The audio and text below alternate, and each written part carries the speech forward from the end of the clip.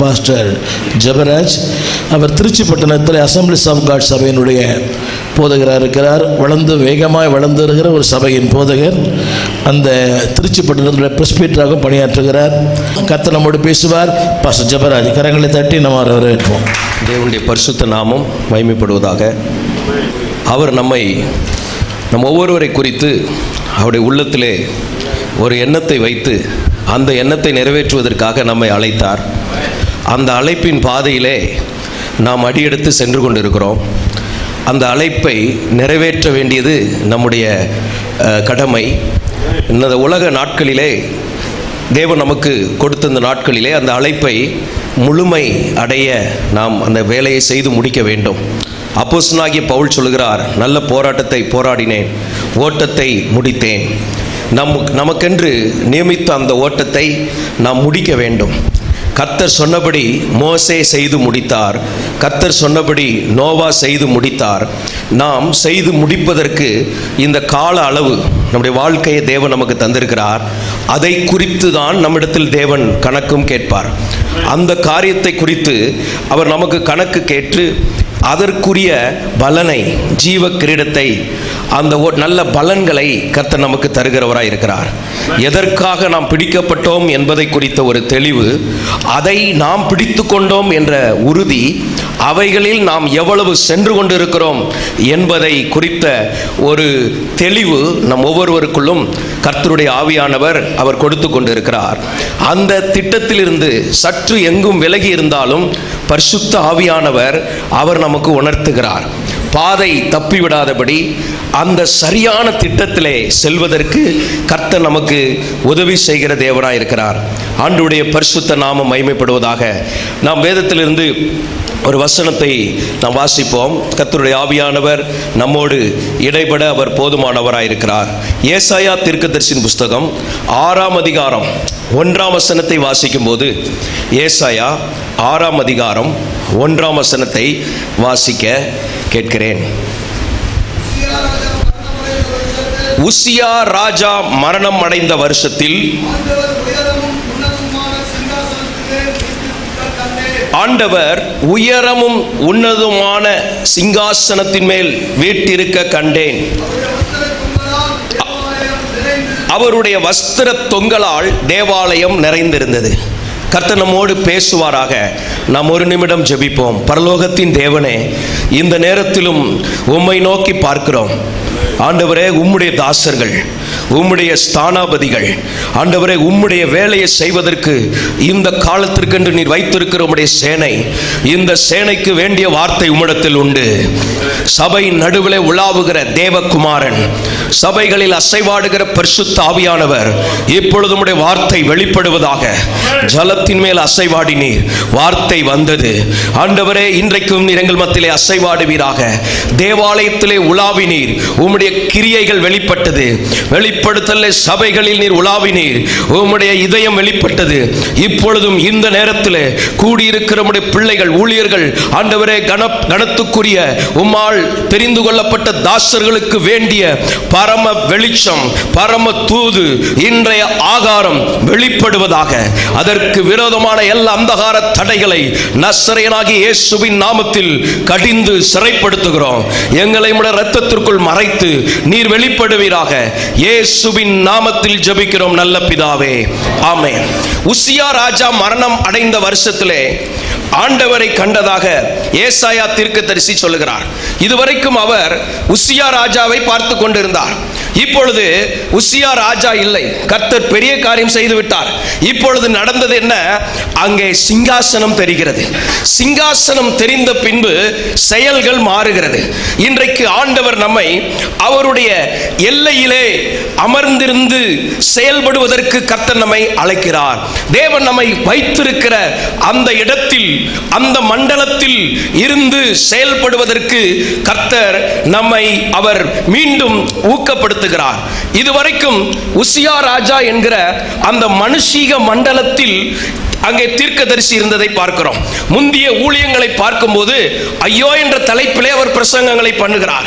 ஸ்தோத்திரம் வயலை வைத்திருந்தால் ஐயோ வீட்டை கட்டினால் ஐயோ சாராயம் குடிக்கிறவனுக்கு ஐயோ எல்லாருக்கும் ஐயோ என்ற தலைப்பை அவன் பேசிக் கொண்டிருந்தான். இப்பொழுது இந்த மனுஷ மண்டலத்திலிருந்து தேவனை காண்கிற ஒரு மண்டலத்தை கத்தர் அவனுக்கு காண்பித்தார். இப்பொழுது உசியா ராஜா தெரியவில்லை. ஒரு உயர்ந்த ஒரு சிங்காசனம் தெரிகிறது. ஒரு உன்னதமான ஒரு சிங்காசனம் தெரிகிறது. அந்த சிங்காசனத்தில் வீற்றிருக்கிறவரையும் பார்க்கிறான். இதை பார்த்த உடனே செத்தவனை போல் அவன் விழுந்து விட்டான். செத்தவனை விழு- போல் விழுந்த போது அவன் தன்னை குறித்த ஒரு உணர்வடைகிறது. ஒரு ஊழியக்காரனுடைய ஊழிய பாதையில் இருக்க வேண்டிய ஒரு உணர்வை கத்தரிங்கை காண்பிக்கிறான் காண்பிக்கிறார். நான் அதமானேன் என்ற உணர்வு இருக்கிறது. தேவ பிரசனம் உங்களையும் என்னையும் அதமாக்கக்கூடியது. தேவ பிரசனம் நமக்குள் இருக்கிற சுயத்தை அதமாக்கக்கூடியது. தேவ பிரசனம் அவன் சொல்லுகிறான் நான் அசுத்த உதடுள்ள மனுஷன். நமக்குள் இருக்கிற அசுத்தங்களை அதம் பண்ணக்கூடிய தேவ பிரசனம் அசுத்த உதடுகள் உள்ள மனிதர்கள் மத்தியில் நான் வாசம் பண்ணுகிறேன். இப்படிப்பட்ட இந்த சூழ்நிலைமையில் இருக்கிற அந்த சூழ்நிலைமையில அவன் செத்தவனை போல் விழுந்தான். தேவ சமூகத்திலே நாம் தேவ சமூகத்தில் விழுந்து கிடக்கும்போது அங்கே பரலோகம் நமக்கு உதவி செய்ய ஆரம்பிக்கிறது. எப்பொழுதெல்லாம் பரலோகம் நமக்கு உதவி செய்கிறது? நாம் நம்முடைய கரங்களை தேவனுக்கு நேரே உயர்த்தும் போது பரலோகத்தின் உதவியை நாம் நாடுகிறோம். தேவ சமூகத்திலே நாம் விழுந்து கிடக்கும் போது பரலோகத்தின் ஒத்தாசை நமக்கு கிடைக்கிறது. அங்கே கர்த்த அந்த பரலோக பலிபிடத்திலே அக்கினி எரிந்து கொண்டிருக்கிறது. பரலோக பலிபிடத்தில் அக்கினி எரிய வேண்டும். நம்முடைய பலிபிடத்தில் அக்கினி எரிய வேண்டும். நம்முடைய குடும்ப பலிபிடத்தில் அக்கினி எரிய வேண்டும். நம்முடைய திருச்சபையின் பலிபிடத்தில் அக்கினி எரிய வேண்டும். நம்முடைய தரிசனத்தின் பலிபிடத்தில் அக்கினி எரிய வேண்டும். நம் ஒவ்வொருவரை குறித்து தேவன் வைத்திருக்கிற அந்த திட்டத்தை நிறைவேற்றுவதற்குரிய பலிபீடம் எரிந்து கொண்டிருந்தால் தான் கத்தருடைய வல்லமையை நம்முடைய வாழ்க்கையிலே நாம் காண முடியும் என்பது இங்கு சொல்லப்பட்டிருக்கிறது. அப்ப தேவனுடைய உதவி அங்கே இருந்து வருகிறது. அவர் அனுப்பின உதவி என்னவென்றால் ஸ்தோத்திரம் அக்கினியை அங்கே அனுப்பினார். அங்கே குரட்டிலை தொடப்பட்ட கொடுக்கப்பட்ட அக்கினி. இன்றைக்கு நாம் சில தேவைகளோடு இருப்போம் சில எதிர்பார்ப்புகளோடு இருப்போம். ஆனால் இன்றைக்கு கத்த நமக்கு சில நேரம் நமக்கு ஒரு இடம் தேவைப்படலாம் சில பணங்கள் தேவைப்படலாம். ஆனால் இன்றைக்கு பரலோகத்தின் தேவன் அவர் தம்முடைய அக்கினி தலலை அனுப்புகிறார். அந்த அக்கினி இது இயேசு கிறிஸ்துடைய விருப்பம். அவர் சொல்லுகிறார் நான் இந்த பூமியின் மேல் அக்னியை போடும்படி வந்தேன் அது இப்பொழுதே பற்றி எரிய வேண்டும் என்று விரும்புகிறேன். இந்த அக்னி ஏசாயாவுக்குள்ள வந்தது பாருங்க.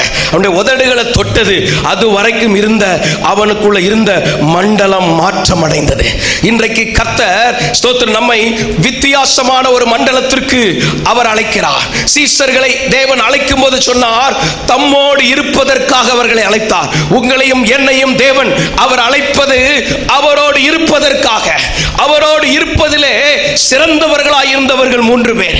பேதுரு யாக்கோபு யோவான். இந்த மூன்று பேரும் இயேசுவோடு இருப்பதிலே தேர்ச்சி பெற்றவர்களாய் இருந்தார்கள் எனவே இவர்கள் ஊழியங்களிலே வித்தியாசத்தை பார்க்க முடிந்தது. இன்றைக்கும் கர்த்தர் அவரோடு இருப்பதற்கு கர்த்தர் நம்மை அழைக்கிறார். அவருடைய சமூகத்திலே காத்திருப்பதற்கு கர்த்தர் நம்மை அழைக்கிறார். இந்த மண்டலத்திற்குள் ஏசாயா வந்த உடனே அவனுக்கு தேவ சப்தம் கேட்டது. இதுவரைக்கும் அசுத்த உதடுள்ள மனிதர்களுடைய சத்தம் தான் அவன் சிந்தனை மண்டலத்தை நிரம்பி இருந்தது ஒரு சராசரி மனிதன் ஒரு நாளைக்கு ஐம்பதாயிரம் எழுபதாயிரம் வரைக்கும் சிந்தனைகள் அவனுக்குள்ளே வந்து கொண்டிருக்கிறது. இந்த சிந்தனை மண்டலத்தில் எல்லாம் அந்த மனுஷனுடைய காரியங்கள் அந்த மனுஷிக உலகங்கள் இதைத்தான் நிறைந்திருந்தது. இப்பொழுது அவன் சிந்தனை மண்டலம் மாற்றப்பட்டது. பரலோகத்தின் இணைப்பு அவனுக்குள் வருகிறது. பரலோகத்தின் அக்கினி அவனுக்குள் வருகிறது. பரலோகத்தில் இருக்கிற சத்தம் கேட்கிறது. இப்பொழுது அவன் சிந்தனை மண்டலம் மாற்றம் அடைகிறது யாரை நான் அனுப்புவேன்? யார் என்னுடைய காரியமாய் போவார்? என் காரியமாய் நான் யாரை அனுப்புவேன்? என்ற சத்தம் கேட்ட உடனே இங்கிருந்து ஒரு பதில் வருகிறது. இதோ அடியேன் என்னை அனுப்பும் என்று. அவன் ஊழியத்தில் மீண்டும் ஒரு உத்வேகத்தோடு ஊழியத்தை ஆண்டவர் நெக்ஸ்ட் லெவல்ல கத்தர் கொண்டு போனார். இதுவரைக்கும் விமானங்களிலே நாம் சென்றிருப்போம். அந்த ரன்வேல போகிறது. அதுக்குரிய இயந்திரம் வேற. அது கார் பஸ் வேன் இப்படி மாறி போகும். ஆனா ஒரு குறிப்பிட்ட நேரத்துக்கு அப்புறம் அடுத்து ஒரு மிஷின் ஸ்டார்ட் ஆகுது. எந்திரம் ஸ்டார்ட் ஆகுது? அது சவுண்டே வேற. அதனுடைய கான்செப்டே வேற. இப்போ அது வேகமான சத்தம் வருகிறது. இன்னும் கொஞ்ச நேரத்துக்குள்ள அந்த விமானம் டேக்கப் ஆகிறது. இப்போ பழைய இன்ஜின் ஆஃப் ஆகுது. இதே போலத்தான் இன்றைக்கு கர்த்தர் உங்களையும் என்னையும் நினையாததற்கு முன்னே அக்- என்னை அம்மினதாவின் ரதத்திற்கு ஒப்பாக்கினேன் என்று சொன்னது போல வித்தியாசமான ஒரு மண்டலத்திற்குள் வைத்து தேவனுடைய இதயத்தில் இருப்பதை அவர் செய்வதற்கு கப்தர் இன்றைக்கு நம்மை அழைக்கிறார். தேவனுடைய உள்ளத்தில் உள்ள அக்கினியை தேவனுடைய உள்ளத்தில் உள்ள பாரத்தை தேவனுடைய உள்ளத்தில் உள்ள தரிசனத்தை தேவனுடைய உள்ளத்தில் உள்ள திட்டத்தை நிறைவேற்றுவதற்கு கத்தர் தம்முடையவர்களை இந்த கடைசி நாட்களிலே அவருடைய கரம் கூட்டி சேர்த்து கொண்டு இருக்கிறது ஏசாயாவுக்குள்ள இந்த அனுபவம் வந்த உடனே இப்போ அவருடைய ஊழியமே மாறுகிறது. இப்போ என்னை அனுப்பும். நீங்க சொல்றதெல்லாம் நான் செய்வேன் ஆண்டவரே. ஆண்டவர் சொல்றதை செய்கிறவனா? ஆண்டவர் கொடுத்த பாரத்தை அவன் நிறைவேற்றுகிறதா? ஊழியமே மாறினது. இன்றைக்கு நம்முடைய ஊழியத்தில் அடுத்த கட்ட அனுபவத்திற்கு கத்தர் நம்மை கொண்டு போக விரும்புகிறார். அது என்ன திட்டம் என்றால் என்னால் என் தேவனுக்கு என்ன செய்ய முடியும் என்கிற திட்டம் மாறி என்னை கொண்டு என் தேவன் என்ன செய்ய முடியும் என்கிற மண்டலத்திற்குள் கத்தர் கொண்டு போகிறார். ஒரு சாதாரண மீன் பிடிக்கிறவனை கொண்டு கத்தர் மூவாயிரம் பேர் ரட்சிக்கப்படுவதற்கு ஒரு பெரிய அப்போசலனாய் மாற்ற முடியும் என்றால் இங்கு இருக்கிற நம் ஒவ்வொருவரை கொண்டு சர்வ வல்லவர் என்ன செய்ய முடியும் என்பதை குறித்த புதிய சிந்தனை மண்டலத்தை கத்தர் நமக்குள் அவர் புதுப்பிக்கிறார். அவருடைய கிரியைகள் நமக்குள்ளே வெளிப்படுகிறது. தேவன் நம்மை கொண்டு செயல்படுகிறது. தேவன் நம்மை கொண்டு செய்ய நினைத்தது நம்மிலே நிறைவேறுவதற்கு நம்மை மீண்டும் ஒரு மறுபிரதிஷ்டை செய்யும் நேரம் மீண்டும் ஒரு அர்ப்பணிப்பை நமக்குள் ஒப்பு கொடுக்கிற நேரம். இந்த இடத்துல நாம் எந்த முதல் டைமென்ஷன் பொதுவாக நம்ம எல்லாம் ஜனங்களை நடத்துகிறோம். விசுவாச குடும்பங்களை சந்திக்கிறோம். பல டைமென்ஷன்ல அவங்க இருக்கிறாங்க. முதலாவது ஒரு டைமென்ஷன் பாருங்க பூமிக்குரியதை பற்றிய ஒரு எண்ணங்கள் இருக்கும். இதுதான் ஃபர்ஸ்ட் டைமென்ஷன் எண்ணத்தை புசிப்போம் எண்ணத்தை குடிப்போம். இப்படிப்பட்ட சிந்தையே ஜனங்களுக்குள்ள இருக்கிறத பார்க்கிறோம். யாத்திரா என்னாகமும் பதினொன்று நான்கு ஐந்துல சொல்லப்பட்டிருக்கு. இறைச்சி சோத்திரம் இந்த இறைச்சி பாத்திரம் வெள்ளரிக்காய் கொம்பட்டிக்காய் வெங்காயம் வெள்ளப்பூண்டு இப்படியே அந்த கான்செப்ட் பூமிக்குரியவைகளை மட்டுமே சிந்திக்கிற முதலாவது டைமென்ஷன் எப்பவுமே இந்த உலகத்துல என்ன? அவங்க எப்படி? இந்த காரியம் எப்படி இருக்குது? இப்படி இந்த உலகத்துக்கு அடுத்தவைகளே சிந்திக்கிறது. ஆனா வேதம் நமக்கு சொல்லுகிறது பூமிக்குரியவைகளை அல்ல. கொலோசையர் மூன்றாம் அதிகாரம் ஒன்றாம் வசனம் இரண்டாம் வசனத்திலே பூமிக்குரியவைகளை அல்ல மேலானவைகளை நாடுவதற்கு கத்தர் நம்மை மாற்றி அமைக்கிறார். இங்கே ஸ்தோத்திரம் இப்படிப்பட்ட சூழ்நிலைமை இன்றைக்கு கத்தர் நம்மை அவருடைய முழு தரிசனம் முழு திட்டத்தை நிறைவேற்றுவதற்குரிய ஒரு அக்னியை போட்டு தட்டி எழுப்புகிறார் கிருபைகளை கொடுக்கிறார் இங்கே சொல்லப்பட்ட அப்போ சவுல் கழுதையை தேடி போகிறான். கழுதை ஸ்தோத்திரம். கழுதையை தேடி போகிற சூழ்நிலைமை. இது முதல் டைமென்ஷன் ரெண்டாவது ஒரு டைமென்ஷன் இருக்கு பாருங்க. அது மனுஷனுக்குரியவர்களெல்லாம் சிந்திக்கிறது. மனுஷனை பற்றியே ஆராய்ச்சி பண்ணி. இப்போ ஏசாயா அப்படிதான் இருக்கிறார். உசியா ராஜா இல்லை. சோத்திரம் சுற்றி உள்ளவங்களாம் அசுத்த உதடு உள்ளவர்கள் யாருமே சரியில்லை. ஒன்றுமே சரியில்லை. உலகம் சரியில்லை. காலம் கெட்டு கிடக்குது. ஏ- ஒன்றுமே மனுஷ ராஜ்யத்துல எல்லாமே குறையா இருக்குது என்கிற ரெண்டாவது டைமென்ஷன் விசுவாசிகளை எடுத்துக்கொண்டால் ஒரு குடும்பத்துல குடும்ப கணவன் சரியில்லை மணவன் மனைவி சரியில்லை மாமியார் சரியில்லை உறவினர்கள் சரியில்லை. இந்த சிந்தையிலே நிரப்பப்பட்ட இரண்டாம் டைமென்ஷன்ல இருக்கிற சிக்கப்பட்ட நிலைமை. மூன்றாவதாக அடுத்த ஒரு டைமென்ஷன்ல சிலர் சிக்கி இருக்கிறாங்க. அது எப்படின்னு பாத்தீங்கன்னா இந்த ஆவிகளின் மண்டலம். எப்போ பார்த்தாலும் ஒரு எரும மாடு துரத்துற மாதிரி தருது பாம்பு சொப்பனமா வருது ஆக்சிடென்ட் ஆகுற மாதிரி தருது இப்படி ஏதோ ஒரு பிரச்சனை பிரச்சனைய இந்த ஸ்பிரிட் வேர்ல்டு திட்டம் பண்ணி இந்த மூன்றாவது மண்டலத்திலே ஒரே போராட்டமாகவே இருக்குது. வாழ்க்கையில போராட்டம் ஊழியத்தில் போராட்டம் அந்த ஏரியாவில் போராட்டம். இப்படிப்பட்ட சிந்தைகள் இந்த ரெண்டாவது மூன்றாவது மண்டலத்தில் இருக்கிற பிரச்சனைகள். இஸ்ரவேல் ஜனங்களை வேவு பார்க்க பனிரெண்டு பேரை அனுப்பின போது பத்து பேர் சொன்ன பதில் ஐயோ நாம் வெட்டுக்கிளிகள். ஸ்தோத்திரம். அவர்கள் அவர்கள் ராட்சதர்கள். இப்போ அதெல்லாம் நம்மால முடியாது என்கிற ரெண்டாவது டைமென்ஷன்ல இருந்தாங்க. ஆனா ரெண்டு பேர் சொன்னாங்க அவர்களை காத்த நிழல் போய்விட்டது. இதை பார்ப்பதற்கு அங்க ரெண்டு பேர் தான் மண்டலத்தில் இருந்தார்கள். நாம் எந்த மண்டலத்தில் இருக்கிறோம்? ஆண்டவருக்கு மகிமை உண்டாவதாக இந்த மூன்றாவது மண்டலத்தில் ஊழியத்தில் வருகிற பல போராட்டங்கள் பல நெருக்கங்கள் இதையே பார்த்து பார்த்து ஓ ஸ்தோத்திரம் அது அவ்வளவு பெரிது. இந்த காலம் ரொம்ப பொல்லாத காலம். இனி சுவிசேஷம் சொல்ல முடியாது. சுவிசேஷம் ஊழியத்தை செய்ய முடியாது.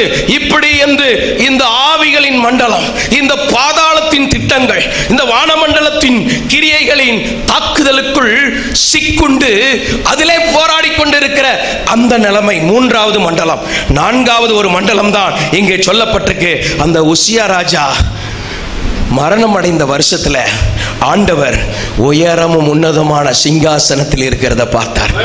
இப்போ யாரெல்லாம் அந்த சிங்காசனத்தை பார்த்து செயல்படுறாங்களோ அவங்க ஊழியத்தில் மாற்றத்தை பார்க்க முடிகிறது. சிங்காசனத்தை பார்த்து ஓடினா ஓடிக்கொண்டே இருக்கலாம். சிங்காசனத்தை பார்த்து ஓடினா ஸ்தோத்திரம் பெரிய வேலைகளை கத்தருக்காக செய்ய முடியும். எலியா ஸ்தோத்திரம் எலிசா எலிசாவோடு இருந்த வேலைக்காரன் கேயாசி அவன் எலிசா இருந்த மண்டலம் இந்த நான்காவது மண்டலம். ஆண்டவருக்கு மகிமை. நீங்களும் நான் இந்த நான்காவது மண்டலத்தில் சிங்காசனத்தில் இருக்கிறவரை பார்த்து பார்த்து செயல்படும் மண்டலத்தில் நாம் இருந்தோம் என்றால் நம்முடைய வாழ்க்கையின் செயல்பாடுகள் எல்லாம் மாறிக்கொண்டிருக்கும். பாருங்கள் மத்தியில் ஆளுகை செய்கிற ஒரு ஆட்சியின் சார்பாக இருக்கிற ஒரு நபர் நம்முடைய மாநிலத்தில் இருந்தால் அவர்கள் பேசுகிற அந்த அதிகாரம் அந்த தோரணை அந்த தன்மைகள் வித்தியாசமாக இருக்கும். ஏன்னா அந்த அதிகாரத்தை பார்த்து அதனோட இணைந்து செயல்படுறதுனால உங்களையும் என்னையும் இந்த அதிகாரம் அல்ல இதற்கெல்லாம் அப்பாற்பட்ட அந்த சிங்காசனத்தை பார்த்து அந்த அதிகாரத்தோடு செயல்பட கர்த்தர் நம்மை அழைத்திருக்கிறார். அந்த அபிஷேகத்தை கர்த்தர் நமக்கு கொடுத்திருக்கிறார். இப்போ இதை பார்த்து ஏசாயா நிலைமையே மாறி போச்சு இதைத்தான் கர்த்தர் இந்த நாளில நம்மை புதிய ஒரு மண்டலத்துல இன்னும் அடுத்த கட்ட ஒரு மண்டலத்துல கர்த்தர் நம்மை பார்த்து சொல்லுகிறார். இங்கே ஏறி வா. ஆண்டவர் மோசையை பார்த்து சொல்லுகிறார். நீ மோசையும் ரெண்டு பேரும் ஒருமனப்பட்டு ஏறி வாங்கன்னு சொல்லுகிறார். இன்றைக்கு கர்த்தர் இதுவரைக்கும் உங்களை கொண்டு செய்தது மாத்திரமல்ல இன்னமும் தேவனுடைய இருதயத்தில் இருக்கிற பரிபூரண திட்டத்தை நிறைவேற்றுவதற்கு இங்கே ஏறி வா என்று இன்னைக்கு இங்க வந்திருக்கிற உங்கள் ஒவ்வொருவருக்கும் ஒரு பிரிண்ட் அவுட்டை கத்தர் கொடுக்க போகிறார். ஒரு மாஸ்டர் பிளானை கத்தர் ஏற்கனவே உங்களுக்கு கொடுத்திருக்கிறார். மீண்டும் அதே திட்டத்தில் உங்களை தட்டி எழுப்ப விரும்புகிறார். அதே திட்டத்தில் நம்மை உயிர்ப்பிக்க விரும்புகிறார். அதே திட்டத்தில் நம்மை புது எண்ணெயினால் அபிஷேகம் பண்ண விரும்புகிறார். அந்த புது எண்ணெய் அபிஷேகம் காண்டாமிருகத்தின் கொம்பை போல நம்மை உயர்த்தும். அந்த காண்டாமிருகத்து பலனை அது நமக்கு கொடுக்கிறது. சத்துருக்களுடைய எலும்புகளை நொறுக்குகிற அந்த வல்லமையை கத்தர் கொடுத்திருக்கிறார். திருச்சபைக்கு தேவன் சோத்திரம் இருப்பு கோலை கத்தர் கொடுத்திருக்கிறார். தேவன் ஆண்டவுடைய இருப்புக்கோள் அந்த அபிஷேகம் அந்த அதிகாரத்தை தேவன் சபைக்கு கொடுத்திருக்கிறார். நமக்கு முன்பாக நிற்கிற பிரச்சனைகள் குயக்கலங்கள் போல் இருக்கிறது. நீங்கள் சந்திக்கிற எதிர்க்கிற ஆவியிலே உணர்கிற அந்த பிரச்சனைகள் குயவனின் களங்கள் போல மண்பாண்டங்கள் போல இருக்கிறது. ஆனால் உங்கள் என்னுடைய கையிலே இருப்பு கோலை கத்தர் கொடுத்திருக்கிறார். பரலோக அதிகாரத்தை கத்தர் கொடுத்திருக்கிறார். அந்த அபிஷேகத்திற்கு முன்பாக அவைகள் நிர்மூலமாக்கப்படுகிறது. விடுதலையோடு கத்தர் எழும்ப பண்ணுகிற தேவனாய் இருக்கிறார் ஆண்டவருக்கு மகிமை உண்டாவதாக இந்த நான்காவது மண்டல மண்டலத்தில் தான் நாம் குறைஞ்சபட்சம் இருக்க வேண்டும். இந்த நான்காவது மண்ட மண்டலத்திலிருந்து இப்பொழுது ஐந்தாவது மண்டலத்தில் தேவன் நம்மை வைத்திருக்கிறார். அது நம்ம எல்லாரும் தெரிந்த விஷயம்தான். ஆண்டவருக்கு மகிமை. உன்னதங்களில் அவரோடு கூட உட்கார வைத்திருக்கிறார். நம்ம சீட் அங்க. அவர் உன்னதங்களில் அவரோடு கூட உட்கார வச்சிருக்கிறார். நம்ம உட்கார்ந்திருக்கிறோமா என்ற கேள்வியை நாம் நமக்கு கேட்டுக்கொள்ள வேண்டும். அந்த அதிகாரத்தில் தேவன் நம்மை உயர் வைத்திருக்கிறார். அந்த அதிகாரத்தை நாம் பயன்படுத்துகிறோமா? ராஜாக்களாக தேவன் வைத்திருக்கிறார். ஆசாரியர்களாக கத்தர் வைத்திருக்கிறார். அந்த அதிகாரத்தை கொண்டு ஸ்தோத்திரம் சகலத்தையும் அவன் பா பாதங்களுக்கு கீழ்ப்படுத்தி இருக்கிறார் எல்லாம் ஸ்தோத்திரம் தேவனுடைய கிரியைகள் பாதங்களுக்கு கீழ்ப்பட்டு இருக்கிறது இன்றைக்கு உங்க வாழ்க்கையில ஊழியத்தில் எவைகள் சவால்கள் போராட்டங்கள் இருந்தால் பரிசு தாவியானவர் சொல்லுகிறார் அவைகள் உன் பாதங்களுக்கு கீழ்ப்பட்டு இருக்கிறது கோலியாத்தை பார்க்கும்போது ஸ்தோத்திரம் அங்கே தாவிதை விட அவன் பராக்கிரமசாலியாக இருந்தாலும் அந்த தாவிது ஸ்தோத்திரம் தன்னோடு அவனை ஒப்பிட்டு பார்க்கவில்லை. தனக்குள் இருக்கிற தேவனோடு ஒப்பிட்டு பார்த்தான். தன்னை ஒரு பொருட்டாக என்ன எண்ணவில்லை தனக்குள் இருக்கிற தேவனுக்கு முன்பாக அவன் தன்னை ஒப்பு கொடுத்தபடினான் தேவனுக்கு முன்பாக முன்பாக அவன் சாதாரண கோ சாதாரண மனிதனாக இருந்தான். சாதாரண கோழி வாத்தாக தான் இருந்தான். எனவே அவன் அதை அடிச்சு கொண்டுட்டான் இன்றைக்கு நம்ம வாழ்க்கையில நம்ம அடுத்த லெவல் போறதுக்கு இருக்கிற சில ஆவிக்குரிய மண்டலங்கள்ல இருக்கிற இல்லை என்றால் மனதின் மண்டலங்களில் இருக்கிற தடைகளை கத்தர் மறுரூபமாக்க விரும்புகிறார். ஒரு நிமிடம் பரிசுத்தாவியானவர் இடம் கொடுத்து அந்நிய பாஷைகளை பேசி உன்னுடைய வலது கரத்தை உயர்த்தி ஜெபம் பண்ணுவோமா? ரியாந்தாலரபா ஷகதரபலபரபா ரீகோ தனமஹரபலபலபா பரலோகத்தின் தேவன் எங்களோடு இருப்பதற்காய் ஸ்தோத்திரம் ஆண்டவர். உலகத்தில் இருக்கிறவனிலும் நீர் பெரியவராய் இருப்பதற்காய் ஸ்தோத்திரம். சாலமோனிலும் நீர் பெரியவராய் ஞானம் உள்ளவராய் எங்களுக்குள் இருப்பதற்காய் ஸ்தோத்திரம். தேவாலயத்திலும் பெரியவராய் நீர் எங்களுக்குள் இருப்பதற்காய் ஸ்தோத்திரம் ஆண்டவரே. யோனாவிலும் பெரியவராய் நீர் எங்களுக்குள் இருப்பதற்காய் ஸ்தோத்திரம். உம்முடைய சர்வ வல்லமை எங்க ஊழியங்களிலே வெளிப்படுவதாக எங்களை அழைக்கும் போது என்ன திட்டத்தை கொடுத்தீரோ எங்களை அழைக்கும் போது என்ன தரிசனத்தை கொடுத்தீரோ அதை செய்து முடிப்பதற்குரிய ஒரு புது பலனை தருவீராக. ஒரு புது அபிஷேகத்தை தருவீராக. ஒரு புது வல்லமையை தருவீராக. ரியாந்தலரபா ஷபலபரபலபரபலபா ரியாந்தலரபா ஷபஹரபலபரபா கர்த்தர் எங்களை தூக்கி எடுப்பதற்காய் நன்றி. மூழ்கி போன பேதுருவை தூக்கி எடுத்தது போல கத்தர் சிலரை தூக்கி எடுப்பதற்காய் நன்றி. வாதகபா சந்தலரபலபா. சில அடைக்கப்பட்ட கதவுகளை கத்தர் திறக்கிறதற்காய் நன்றி. தேவனமா ஹரபா ஆவியானவரோடு இணைந்து கொள்வோம் சந்தரபா ரியாந்தலரபா சபலபரபா. காரிய சித்தி கத்தரால் வருகிறதற்காய் நன்றி. ஓரபா சதலபா சீட்டு மடியிலே போடப்படுகிறது. காரிய சித்தி கத்தரால் வருகிறது. நீங்கள் பல பிரயாசங்களை பட்டீர்கள். ஆனால் கத்தர் சொல்லுகிறார் உன் காரியங்களை நான் வாய்க்க பண்ணுகிறேன். என் மகனே நீ பலனடைந்து என் காரியத்தை நீ திடமனதோடு செய். நான் மோசையோடு இருந்தது போல நான் உன்னோடும் இருக்கிறேன். தபஹா சந்தலபஹா ரபா. உன் பலவீனங்கள் அல்ல. என் பலத்தை நீ சார்ந்து கொள். என் பலன் உனக்கு உண்டு. உன் பலவீனத்தில் என் பலன் பூரணமாய் விளங்கும் என்று கத்தர் நம்மை திடப்படுத்தி கொண்டிருக்கிறார். தபா சந்தல ரபா லபா ரபா. போர் முடிந்தது. சந்தல ரபாக தரபா லபா ரபா. ரியாந்தல ரபா. செல்லுடைய ஆவிக்குரிய மண்டலத்திலே செல்லுடைய சிந்தனை மண்டலத்திலே இருந்த அந்த யுத்த கிரியைகள் நிர்மூலமாக்கப்பட்டு கொண்டிருக்கிறது. கிறிஸ்துவின் ஜீவன் நமக்குள் இருக்கிறது. இயேசுவின் ரத்தத்தின் வல்லமை நமக்குள் இருக்கிறது. இடம் கொண்டு பெருக பண்ணுவேன் என்று கர்த்தர் சொல்லுகிறார். இடம் கொண்டு பெருக பண்ணுவேன். ரபா. ரீபா தேஷகா பாபா பாபா ரீமா தாகாபா இன்னமும் உன்னை கொண்டு பலத்த காரியங்களை செய்வதற்கு உன்னை நான் கரம் பிடித்திருக்கிறேன். உன்னை நான் பராக்கிரமசாலியாய் வைத்திருக்கிறேன். கர்த்தருடைய பட்டயம் கிதியோனுடைய பட்டயம். இன்றைக்கு உன் கையில் இருக்கிற அதிகாரம் அது தேவனுடைய அதிகாரம் என்று கர்த்தர் சொல்லுகிறார். உங்கள் கையில் இருக்கிற அந்த பலன் அது கர்த்தருடைய அதிகாரம். அதை கொண்டு பிரியா ஒரே மனிதனை முறியடிப்பது போல உங்கள் பிரச்சனைகளை எல்லாம் நிர்மூலமாக்குகிற ஒரு அபிஷேகத்தை நான் உங்களுக்கு தந்திருக்கிறேன். பாதாகா சந்தாலா பஹாரா பாதா கேபா ரிம்பா ஷேகாதாலா பாரா பாலாபா நன்றி ஆண்டவரே. நீங்க கிரியை செய்கிறதற்காய் நன்றி ஆண்டவரே. ரியாம் தாலரபா ரியாம் தாலரபா ஷபலபா. இந்த பட்டணத்தை உங்களை கொண்டு கத்தர் மறுரூபமாக்க விரும்புகிறார். கத்தர் உங்களை கொண்டு மறுரூபமாக்க விரும்புகிறார். ரியாம் தால் அந்த மறுரூபத்தின் அக்கினி எங்க மேல விளட்டும் ஆண்டவரே. அந்த கலிலேயா கடற்கரை ஓரத்தில் தேவகுமாரன் நடந்தபோது அங்கே இருளில் இருக்கிற ஜனங்கள் வெளிச்சத்திற்கு வந்தார்கள். இனி இருளின் அதிகாரங்கள் அது ஆளுகை செய்ய முடியாது. வெளிச்சத்தின் வல்லமையை கத்த நம்மிலிருந்து விளங்க பண்ணுகிறார். தீபா ஹாத்தாலாபா உடைய ஊழிய மண்டலங்களில் வெளிச்சம் உண்டாகிறதற்காய் நன்றி. ரீபாதா ஹபா சந்தாலா ரபா லபா. ரீகா சதலபா ரபா. ரியாந்தலாபா அநேகுடைய பட்டயங்கள் புதுப்பிக்கப்படுகிறதை நான் பார்க்கிறேன். இந்த மேடையில் இருக்கிற அநேக கனத்துக்குரிய மூத்த ஊழியர்களுடைய பட்டயங்களை கத்தர் புதுப்பிக்கிறார்.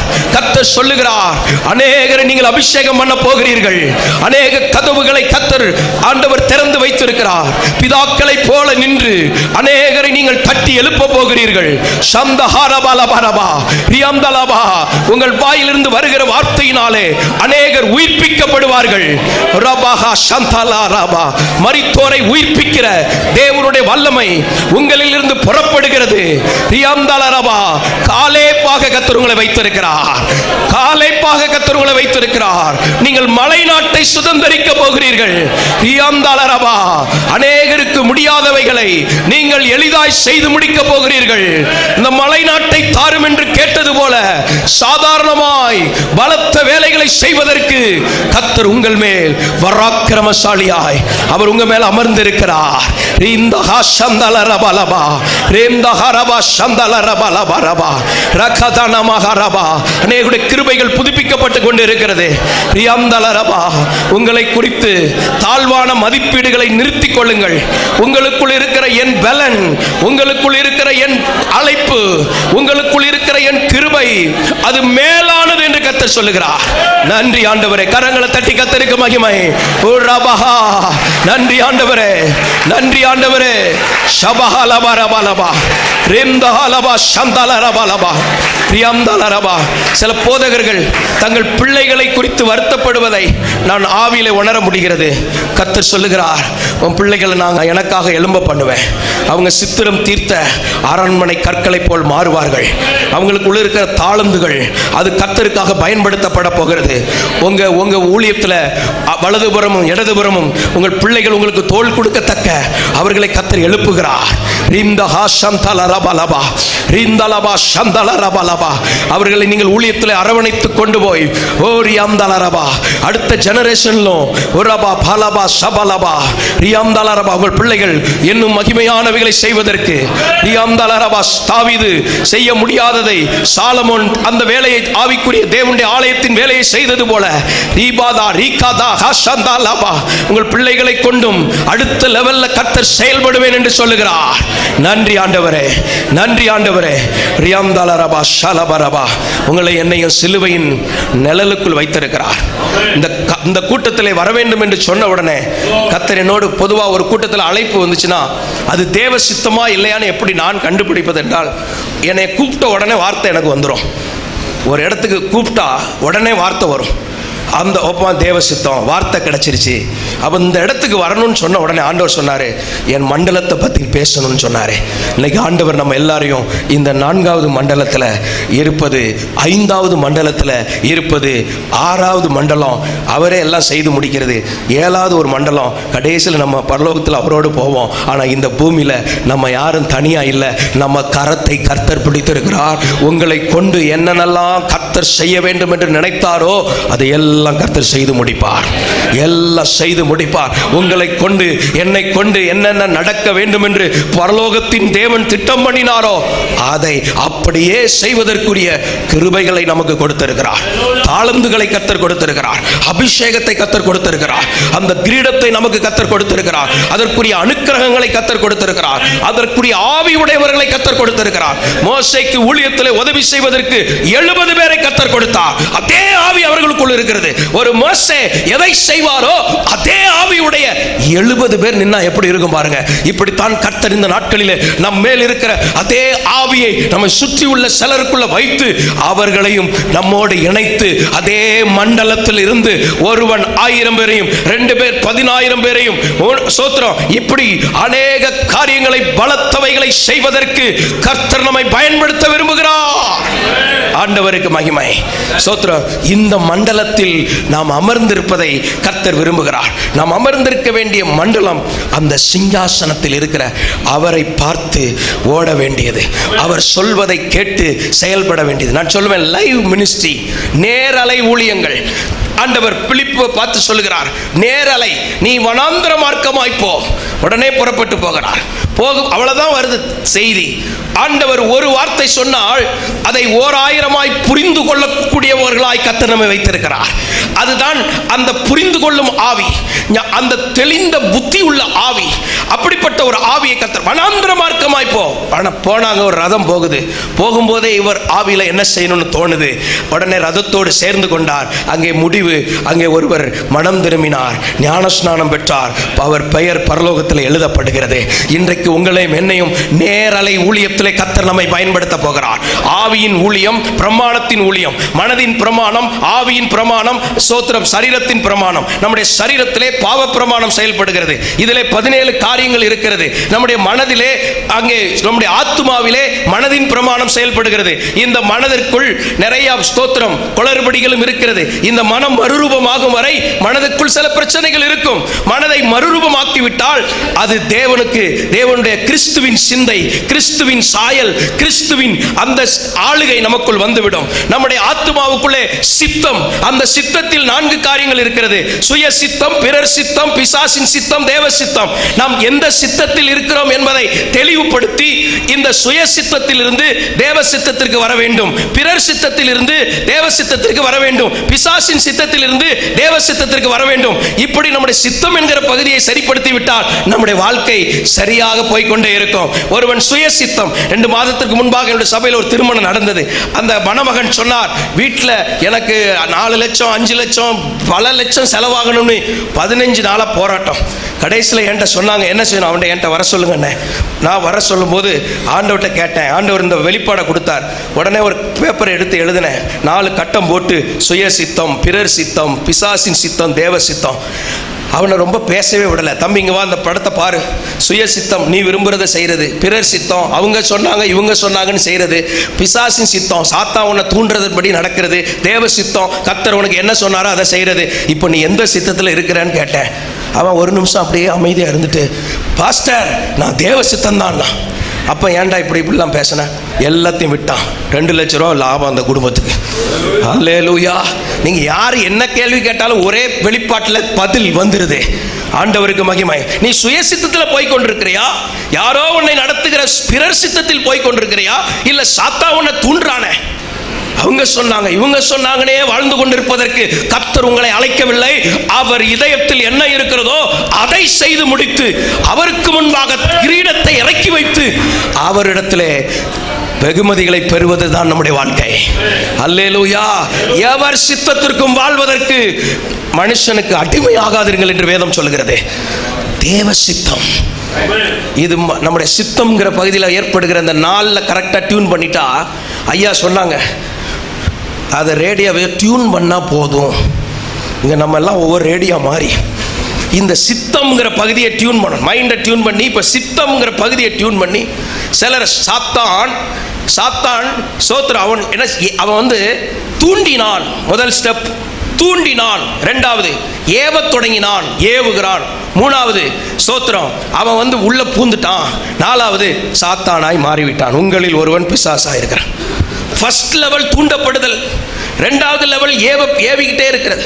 சிலர் ஏவிக்கிட்டே இருப்பாங்க. நீ அதை செய் அதை செய். சாத்தா ஏவுறது. அடுத்த லெவல் அவன் உள்ளே பூந்துட்டான். அதான் பிசாசுக்கு இடம் கூடாதிருங்கள். அந்த எங்கேயும் இடம் கொடுத்துடக்கூடாது. ஸ்தோத்திரம். அடுத்த லெவல் அவனாவே மாற்றிட்டான் இப்போ அவனை ஒன்றும் பண்ண முடியாது. ஆண்டவருக்கு மைமோண்டாகட்டும் உண்டாகட்டும். இந்த சித்தத்துக்குள்ளே போகாதபடி நம்ம தேவ சித்தம். இது எதுக்காக? எல்லாருக்கும் நம்ம உங்களுக்கு தெரியாத உணவாக சொல்ல வந்திருக்கிறோம். ஸ்தோத்திரம். ஆண்டவருக்கு மகிமை உண்டாகட்டும். அப்போ இங்கே ஒரு இரநூறு முந்நூறு பேர் இருந்து இரநூறு பேர் இருந்தால் எல்லாருமே நல்ல வார்த்தைகளை சொல்ல அபிஷேகம் பண்ணப்பட்டவர்கள். ஆனால் இன்னைக்கு சீட்டு இப்படி விழுந்திருக்குது அவ்வளோதான் வித்தியாசம். வேற ஒன்றும் இல்லை. இன்னைக்கு கிருபை இப்படி கிரியை செய்யுது அவ்வளோதான் வேற ஒன்றும் வித்தியாசம் இல்லை. ஸ்தோத்திரம். கிருபை எப்படி வேணாலும் கிரியை செய்யும். அதுதான் தேவன். ஆண்டவருக்கு மகிமை உண்டாகட்டும். அப்போ இந்த இந்த சித்தத்திலிருந்து இன்றைக்குள்ள வாலிபர்கள் இளைஞர் தலைமுறையை தேவ சித்தத்துக்குள்ளே கொண்டு வந்துட்டா அவன் யோசேப்பின் அரிக்கட்டு மாதிரி எழுந்து நிற்பான். உங்களை என்னையும் கர்த்தர் எழுந்து நிற்கும் அரிக்கட்டாய் கர்த்தர் வைத்திருக்கிறார். அந்த மண்டலத்தை பார்த்தவன் அரிக்கட்டு நிற்கும். அந்த மண்டலத்தை பரியாசம் பண்ணின சகோதரர்கள். அதை பத்தி கவலைப்பட வேண்டாம். சகோதரர் அவங்க மனுஷன் மனுஷனுக்கு முடிஞ்சதை செய்வான். பிசாசு அவனுக்கு தெரிஞ்சதை செய்வான். சோத்திரம் நீங்களும் நானும் தேவன் சொல்லுவதை செய்வதற்கு அழைக்கப்பட்டிருக்கிறோம். சூழ்நிலைமைகளை பற்றி நமக்கு கவலை இல்லை. சகலமும் பாதங்களுக்கு கீழ்ப்பட்டிருக்கிறது. அவர் சொல்ல ஆகும். அவர் கட்டளையிட நிற்கும். அவர் சித்தம் இல்லாமல் ஒரு முடி கூட கீழே விழாது. முடி கூட வெள்ளை ஆகாது. அவர் சித்தம். அப்படியே வெள்ளை ஆனாலும் அது மகிமையா இருக்குது. ஆண்டவருக்கு மகிமை ஆகட்டும் இப்படி அவர் சித்தம். அந்த அழைப்புக்குள்ளதான் நம்மை கத்தர் ஓட வைத்திருக்கிறார். அப்ப அந்த தேவ சித்தத்தின் அந்த மண்டலத்துக்குள்ள வரும்போது யோசிப்புக்குள்ள இருந்ததெல்லாம் அந்த சொப்பனம் தான் ஓடுது. சூரியனும் சந்திரனும் பதினோரு நட்சத்திரங்களும் தன்னை வணங்குகிறது. பதினோரு அரிக்கட்டுகள் விழுந்து கிடக்கிறது. ஒரு அரிக்கட்டு நிமிழ்ந்து நிற்கிறது. இப்படித்தான் ஆவிக்குரிய மண்டலத்திலே வாழ்ந்தான். ஆனால் நடப்பதெல்லாம் வித்தியாசமாக நடக்குது. வஸ்திரத்தை உறிஞ்சாச்சு. குழியில தூக்கி போட்டாச்சு. இது உலகம் மனுஷன் செய்யறது.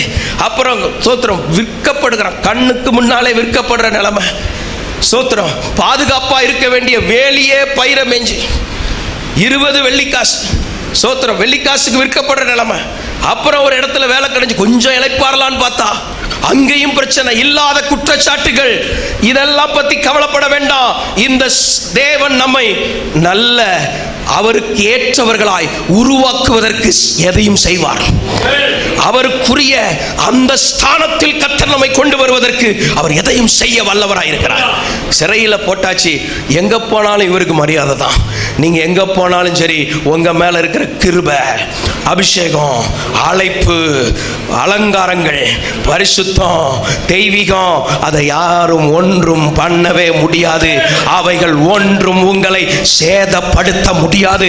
இன்றைக்கு கர்த்தர் என்ன சொல்லுகிறார்? சூழ்நிலைமைகளால் நடப்பதை குறித்து கால எதை குறித்தும் கவலைப்பட வேண்டாம். நீ எதை குறித்தும் பயப்பட வேண்டாம்.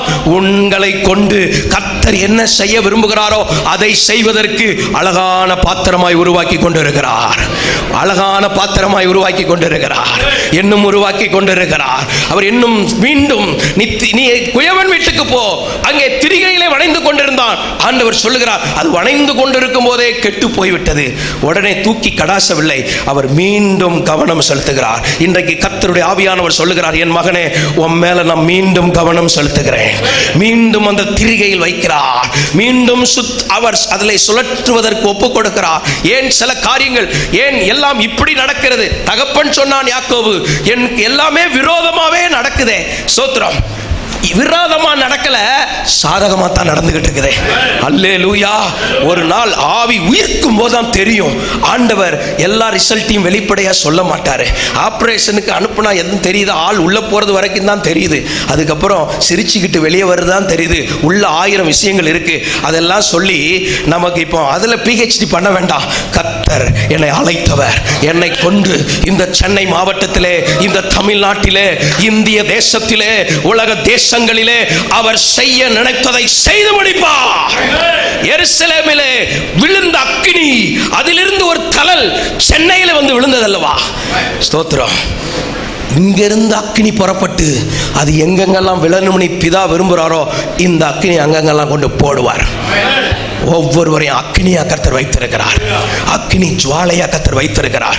அப்படிப்பட்ட பாவங்களை சுட்டரிக்கிற அக்கினி அக்கிரமங்களை சுட்டரிக்கிற அக்னி கருக்குள்ள பட்டயத்தை கத்தர் நமக்குள்ள கொடுத்திருக்கிறார். பரலோக அதிகாரம் நம்ம கூட தேவ தூதர்கள் இருக்கிறாங்க. சோத்திரம் பெரிய பவரனை கத்தை நமக்கு கொடுத்திருக்கிறார். எவரும் மாற்ற முடியாது. கட்டளைகளால் நமக்கு விரோதமாக எழுதப்பட்ட கையெழுத்தை குலைத்து சாந்து குலைச்ச மாதிரி குலைத்து அதை எடுத்து ஆணியில் இருக்க பிடுங்கி எடுத்து சோத்திரம் அவனை வெளியரங்கமான கோலமாக்கி ஒன்றும் இல்லாமல் பண்ணினவன். உங்களுக்கு விரோதமா எந்த எழுத்தும் எந்த எழுத்தும் செயல்படாதபடி கொலைத்து போடுகிற கிறிஸ்துவின் வல்லமை நமக்குள் இருக்கிறது. இயேசுவின் ரத்தத்தின் வல்லமை இருக்கிறது. நம்முடைய திருச்சபைக்கு வருகிற எவர்களுக்கு விரோதமாய் எந்த கையெழுத்தும் செயல்பட முடியாது. எந்த விரோத காரியங்கள் கட்டளைகள் ஒன்றும் செயல்பட முடியாது. வெற்றி சிறந்த அந்த கிருபையின் அபிஷேகத்திற்கு சொந்தக்காரர்கள் நீங்களும் நானும். கிறிஸ்துவின் வெற்றிக்குரியவர்கள் கிறிஸ்துவின் வெற்றிக்குரியவர்களாய் வெற்றி நடை போடுகிறவர்களாய் வைத்திருக்கிறார். நம்முடைய ஊழியங்கள் வெற்றி நடை வெற்றி கொடி பிடித்திடுவோம். வீர நடை நடந்திடுவோம். இதற்கு தான் கத்தர் நம்மை அபிஷேகித்திருக்கிறார்.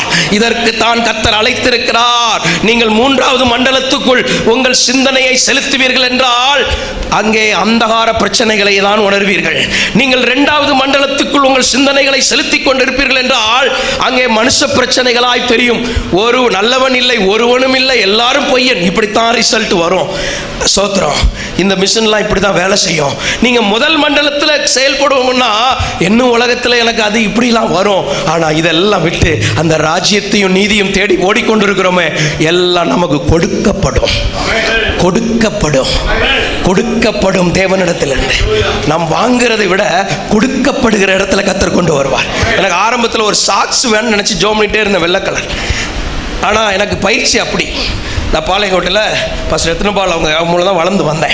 அப்போ பார்த்தீங்கன்னா இதெல்லாம் ப- வந்து கேட்டு வாங்கக்கூடாது. எதையும் கேட்கக்கூடாது. கேட்ட ஜோமனு கர்த்தர் தருவார். என்னப்பா எனக்கு சாட்சி வேணும் கையில் பணம் இருக்குது ஜவுளி கடை சுற்றி இருக்குது. வாங்க வாங்கன்னு கூப்பிட வாசலில் நிறைய பேர் நிற்கிறாங்க போக முடியுமா? சோத்திரம் ஆண்டவருக்கு மைமோன் டீ கடையாக இருக்குது ரோட்டில் நின்று டீ குடிக்க முடியுமா? கத்தர் உங்களை என்னை அவருக்குரிய ஸ்தானாபதியாக வல்லவா அழைத்திருக்கிறார்.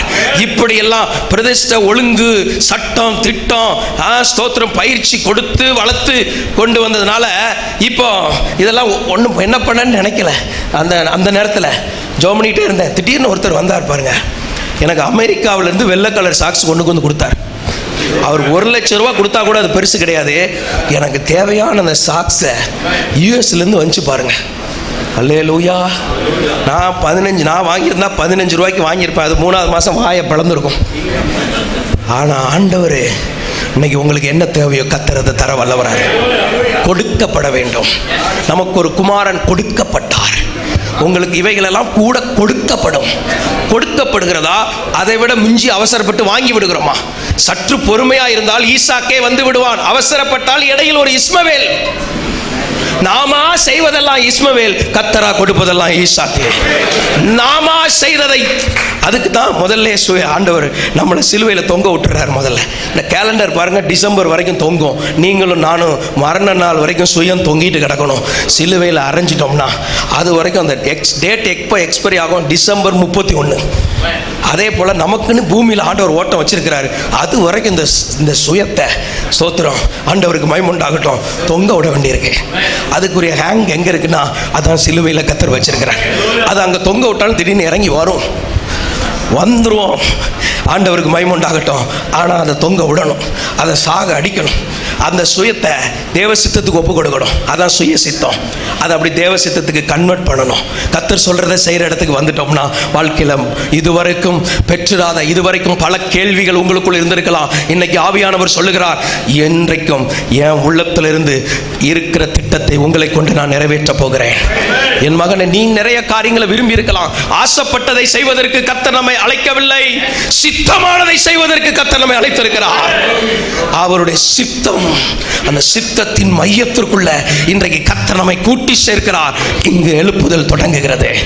ஆண்டோடைய நாமம் மகிமைப்படுவதாக.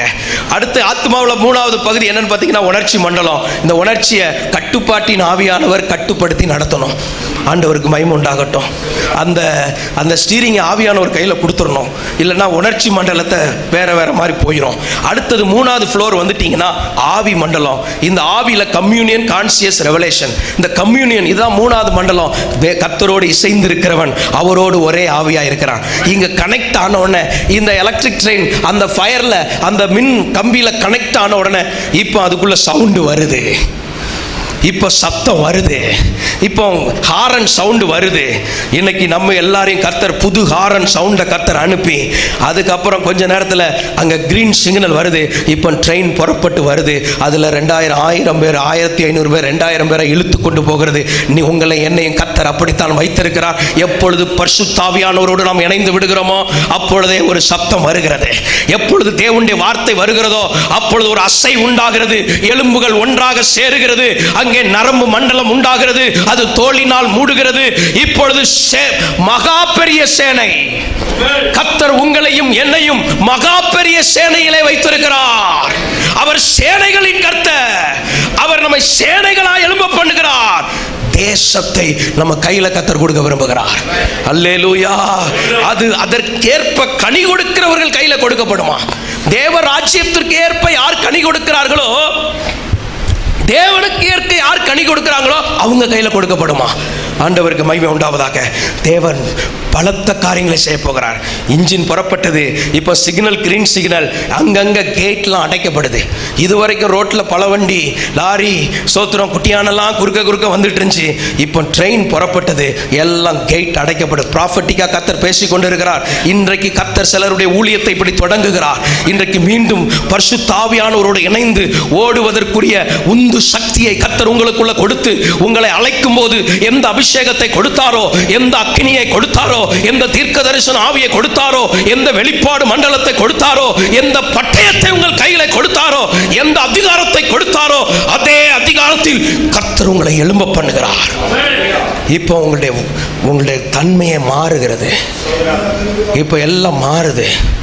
எங்கள் விலாசம் போதகர் ஸ்டீஃபன் தேவகுமார் திறந்த வாசல் சபை அறுபத்தி ஐந்து பரமானந்த முதலி தெரு ஏழு கிணறு சென்னை ஆறு பூஜ்ஜியம் பூஜ்ஜியம் பூஜ்ஜியம் பூஜ்ஜியம் ஒன்று.